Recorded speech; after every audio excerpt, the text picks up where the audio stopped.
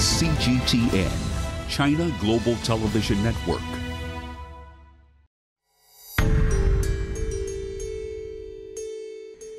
This week, to be closer to China, women, women's rights. It is said in China that women hold up half the sky, but old ways change slowly. And as women play greater roles in Chinese society, the protection of their rights and interests has also been stepping up. To assess the problems and the progress, we check an especially vulnerable group, rural women. What are the problems of rural women's land rights? And what is the government doing to improve their protection? This week, women's rights brings us closer to China.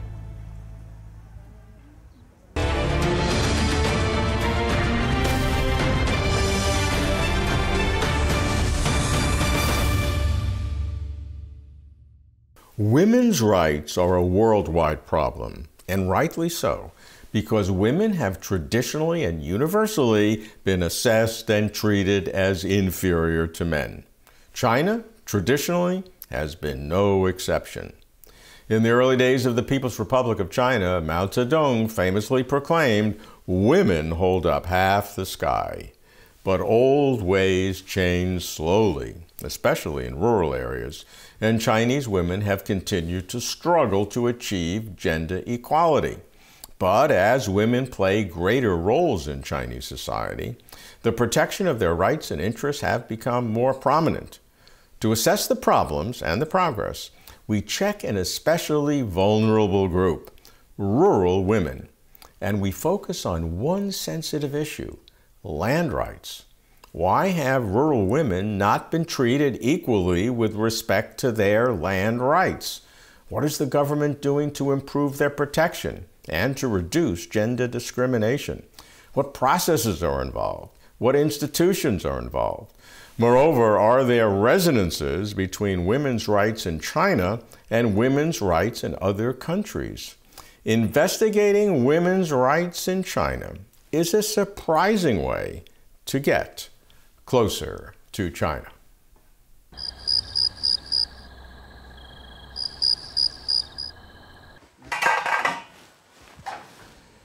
39-year-old Wang Jingjun is a villager of the Hutuo village in Xingtai City, Hebei province. Her husband was born in China's coastal Zhejiang province, and the couple had two children who had their hukou registered in their mother's birthplace, the Hutuo village. In 2011, the village was allocated a large compensation because part of the village's land was expropriated by the government for an expressway. Based on the compensation distribution plan decided by the village's assembly, Wang and her two children were deemed not qualified to receive their share of the money, altogether 15,000 yuan feeling unfairly treated in 2014, Wang sued the Hutuo Villages Committee in the county court. 呃，找村委会找过，找过，然后呃找乡政府也找过，嗯，我又到市信访局也找过，然后市信访局吧又给我提议说我也应该找找妇联，但是都没有什么音信。呃，就是信访局那地方说，那那不行，我们就给你建议，你们就走这个法律途径。Why did the villagers' committee refuse to allocate compensation to Wang and her children? 就是他就是说，呃，那个所有就是那个出嫁闺女都不给，从我生下来就是我父母给我上在这里户口，就是我结婚就是在这里结的婚，结婚了，然后我生小孩了，我就户口就跟着我上在这里。Land acquisition in China refers to land appropriated for the public interests. This transfers collective land into state owned land. According to the law, in turn, the country shall give reasonable compensation to the rural collective and individuals whose land is expropriated. As a villager of Hutuo, Wang felt unfairly treated regarding the compensation. But what did the village's committee think? 当时，那个那个那个是开干部会，那个那个党员代表会，当时那个开了多长时间，那是征地款了是吧？那个开时间也不短，得有三分之一嘛，那那估计是同意那个，三分之二的嗯都不同意。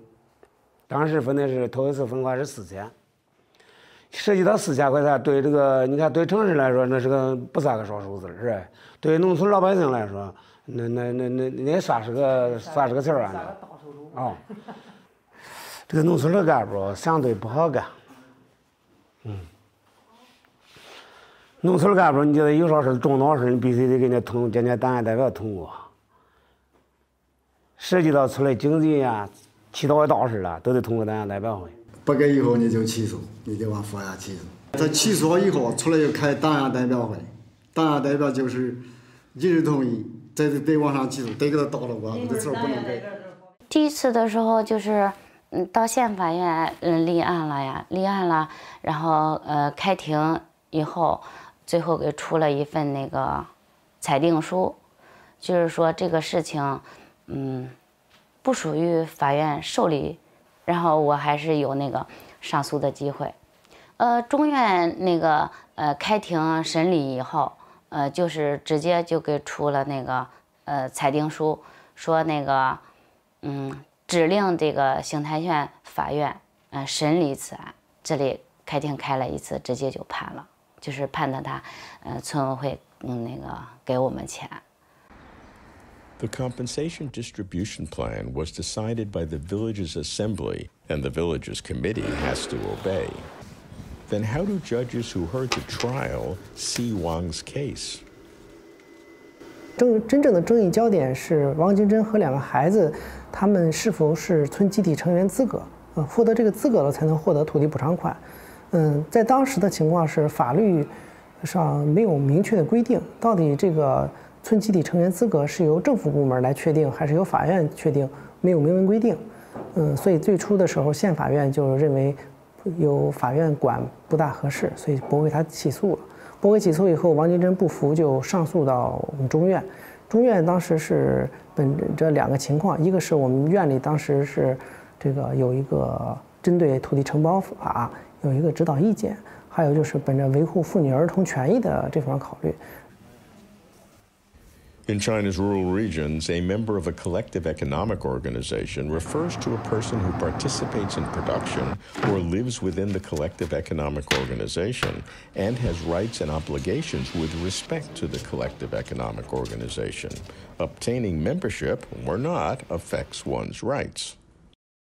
不管结婚没结婚，户口一直没有迁出，而且两个孩子从出生那还两两个孩子出生以后就把户口落在村里，关键而且村里还有土地，所以我们认为他就是嗯霍头村的村民，他当然得享有这个权利。的决定这分配方案而，侵害的原告的原告的权益应该是男女平等，是吧？只只给只给只给本村的嗯男子都给了，但是女儿没有给，妇女这一块没有给，所以我们认为。侵犯这个方面，还有是那个妇女权益保障法，啊，就是男女男女平等，都有同等享有那个享有的权利。后来的土地承包法对于这个外嫁女有专门的规定，如果她在那边没有获得相应的这个权益，那么她在。呃，以前的这个村集体成员还依然享有这样资格。呃，你不，他不能因为他们的这个村集体的研研究决定，而这个侵犯了王金珍和两个孩子的这个基本的生活权益。所以这样的话就没有支持村委会的上诉请求。你看道歉官司以后才知道，像这种情况，你像那个，像俺家这个国家这个这个这个说，户口在咱这儿，享受这个权益就该在这儿。也不打官司，咱也不清楚这个事毕竟咱小的法律的知识也少。如果咱站在那个，嗯，他们村委会当时的角度上，嗯，可能他们从那个情理上，啊，从情理上，或者说那个老百姓把我选举上村干部，我能代表全体，嗯，大多数或者全体老百姓的利益，嗯，既然大多数不同意给，即使我我我站在这职务上，我想给我也不能给。The Hutuo Villagers Committee made its hard decision, but for Wang Jingjun, the lawsuit was a hard won result. 我也是，嗯，请请不起律师，嗯，然后我就自己，呃，很多时候都是熬到半夜，就是这个去观察、去查，呃，去了解这个法律上的嗯一些条款什么的。我我老公半夜醒了。就看着我还在那里说：“哎呀，说你怎么还不睡啊？”我就说这个事情我还没有弄懂，呃，最终还是自自己上法庭，自己也辩护，打赢了。我当时，哎呀，我我当时收到那个嗯裁定书，说指令这个县法院让他去处理这件事情。哎呀，我心里边可高兴了，我当时激动的我，我我也是在那个呃呃拿到那份判决书的时候，我也是哭。在我这里发生的，我如果走不通，我的孩子怎么去走这个路？我走了那么长的路，都都没走通，但是我拿起法律来维护我自己的权益，我成功了，我活起来精神头更大一点，是吧？我感觉，呃，最起码都是光明的。how to comprehend Wang Jingjun's case. To get professional perspectives, we interviewed Ma Weidong, Director of Bureau of Enforcement at Xingtai Intermediate People's Court, Karol Boudreaux, Chief Program Officer of Landesa, an international non governmental organization based in the U.S. that fights rural poverty through securing land rights for the rural poor, and Dr. Li Yu Mai, Executive Director of Agriculture and Rural Legal System Research Center at China Agricultural University. 在这个现代化发展的过程当中，，Thanks to agriculture modernization, land value continues to surge. Land acquisition in some areas has led to an increase in compensation for collective economic organizations. Who are entitled to compensation? It involves identifying membership in rural collective organizations. Unfortunately, many women were not recognized as members, thus excluding them from the compensation distribution plan many parts of the world still see women as uh, less equal than men in a community. These community level norms and practices explain in part why women's rights aren't as well protected as they should be. In China, there is a very interesting phenomenon where women are, mem- are members of households households in rural areas are members of collectives, and the rights that you have over your land depend upon two things your membership in a household and your membership in a collective. For women, when they leave their parents' household to go to their husband's home or maybe if they leave to go to the city to work, um, this can, in some situations, put their rights to land at risk. Gender equality is clearly laid out in China's laws and regulations, but many issues involving land are handled at the village level, which have autonomy. Some decisions of villagers' assemblies have infringed on the land rights of women, including those who married outside their hometowns. This problem gets increasingly acute when urbanization comes into play. Before 2010, cases occurred that people submitted complaints regarding the allocation of land revenue, asking for court decisions as both women's federations and local government authorities could not settle the disputes. Once two villages in Xingtai, one with over 40 residents and one with over 70, appealed to Hebei Provincial Party Committee, and we thought of rolling out a regulatory rule. China's Supreme People's Court stipulates that the People's Court shall accept civil disputes over compensation distribution for the requisition of contracted land, but issues no specifics on how to handle such cases. Xingtai's immediate People's Courts have drafted opinions offering guidance on handling disputes on land revenues. After that, the number of complaints on such cases dropped significantly. The issuance of these opinions has helped relieve pressure on people seeking an appeal on certain decisions. The court can rule on cases, and it will have demonstrable effect. 中国妇女报有一篇文章 An article published on China Women's News praised the court's approach to protecting women's land revenue allocation rights as the Xingtai mode, and it proposed to further strengthen the rule of law by encouraging the National People's Congress to promulgate laws for nationwide application, because we do not have uniform standards on case acceptance, handling processes, and judgment. The All China Women's Federation and Hebei Women's Federation have exchanged views with me multiple times, and they are also promoting the NPC to promulgate such laws. The lawmaking process has already been initiated. The Ministry of Agriculture and Rural Affairs and the Office of the Central Leading Group for Rural Affairs are spearheading draft legislation for rural collective economic organization. I do think that um, the government is is continuing to make uh, improvements where it it identifies the need to the need for some changes in language or clarifying some ambiguities in the law. And uh, that eh, addressing ambiguities related to collective membership can be very helpful Lawmaking initiatives are ongoing, but how to surmount the barriers erected by social norms, namely village regulations and customs, is a challenge. Village regulations and agreements that is formed under the village autonomy should not go against laws and regulations. Laws including the law on the protection of women's rights and interests and the Constitution have clear regulations on women's rights protection. Therefore, when villages formulate village regulations and agreements, government authorities should enforce a review process on them. In 2018, the Ministry of Civil Affairs, Organization Department of the CPC Central Committee, the Ministry of Agriculture and Rural Affairs, All China Women's Federation, and other groups jointly issued guidance on the supervision of village regulations and agreements. By 2020, these are expected to go through another round of reviews. The villagers didn't intend to break the law, they just lacked legal awareness.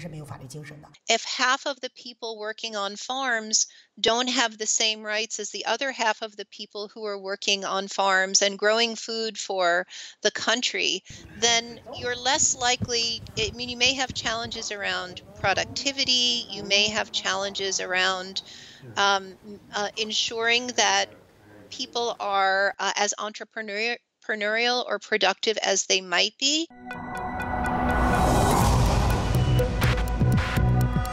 Each day, there are millions of stories.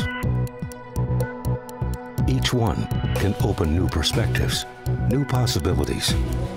Wherever you look, we are there to see, discover, explore. We put the pieces together to find what really matters to you, all around the world, all around the clock.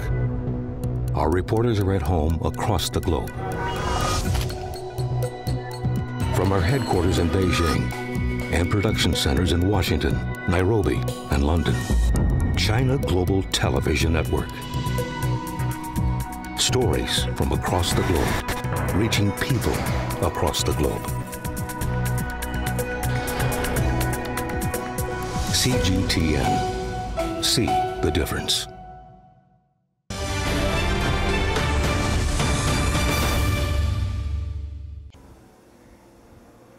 To women like Wang Jingzhen, when their legal rights are infringed, they resort to the law and the court. But in Weilu village of Xingtai City of Hebei province, land rights disputes can be settled out of court. In 2017, Weilu Village was allocated a large compensation for the government's acquisition of the village's land to build an expressway. The village's committee uh-huh. decided to allocate only half the money to women who had married outside the village, and that triggered the grievance.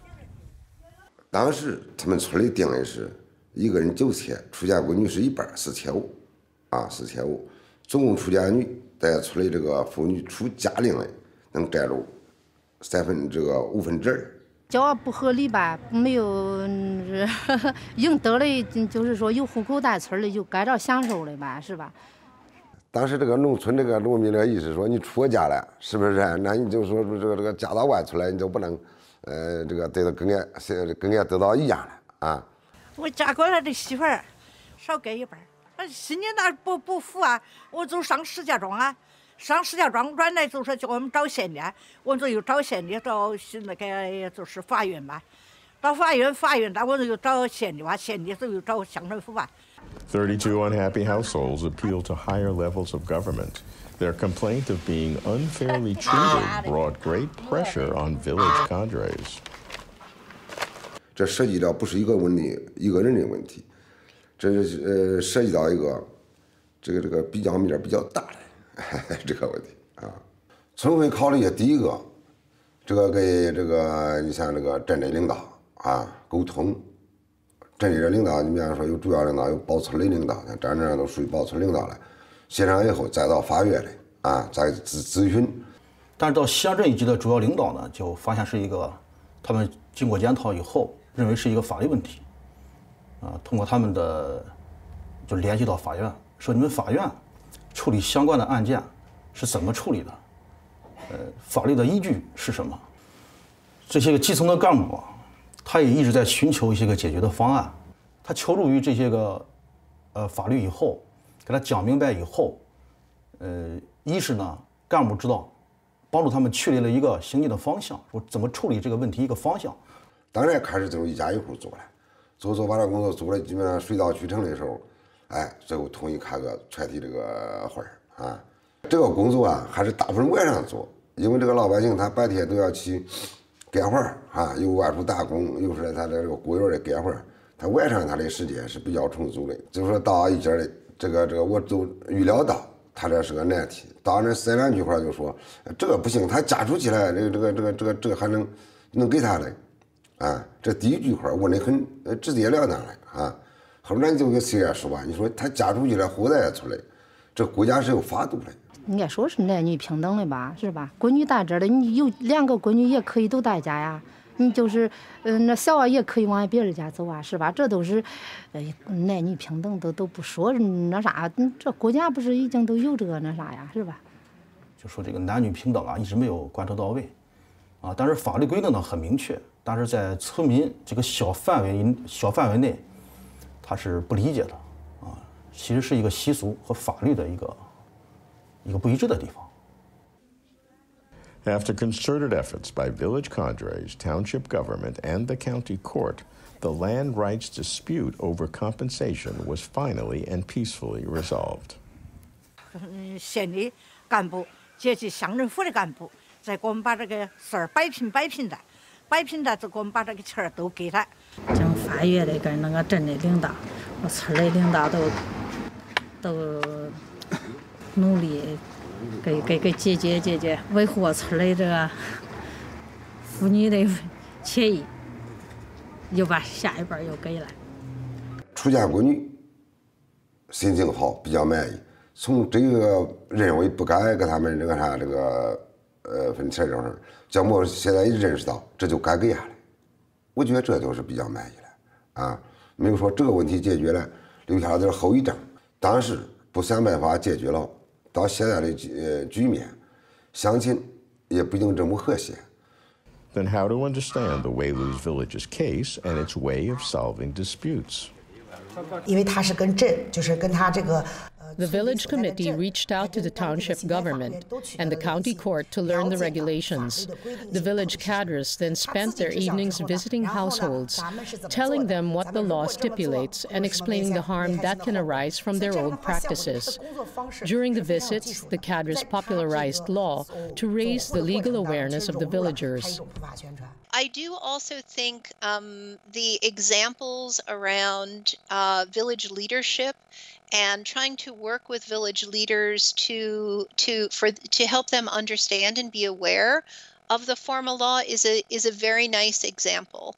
Um, whether other countries would have the same level of resources to send government officials out to meet with villagers, that can be a different question. Part of the problem around uh, land rights in general and women's land rights in other countries uh, is tied to the level of resources that the government has to protect these rights as compared to doing other things that the government needs to do.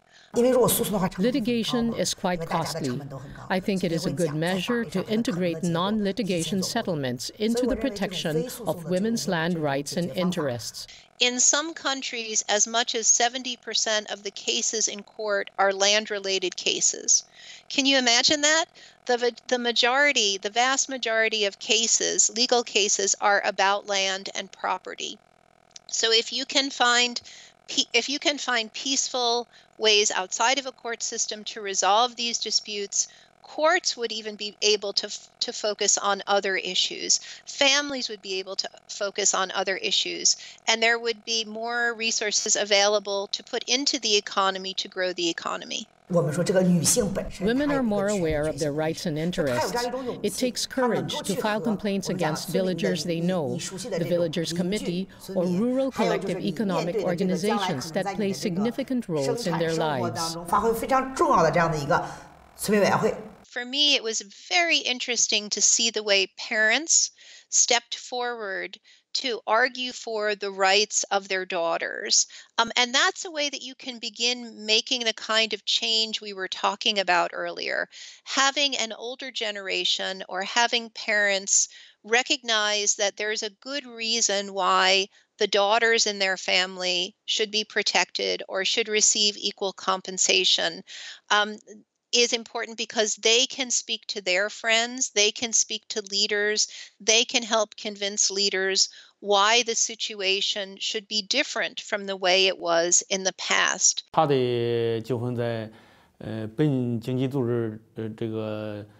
if the disputes cannot be addressed by a local village economic collective or local villagers committee, women seek solutions by complaining to a higher level of government or filing a lawsuit. I think this shows a rising awareness of women to protect their own rights. China's legal framework is actually um, qu quite strong. The Constitution uh, provides for equal protection and there are laws that protect um, equal rights, particularly to rural lands, whether those are residential lands or agricultural lands. Uh, the rural contracting land law has been revised to become relatively strong in terms of gender equality. Um, it is stronger than the legal framework in some other parts of the world. Uh, we know today that there are still approximately 40 countries around the world that have legal provisions that allow for discrimination between women and men. Since the CPC came to power, it has made clear the promotion of women's liberation and gender equality in its guiding principles. These principles have been elevated into state will in the form of legislation.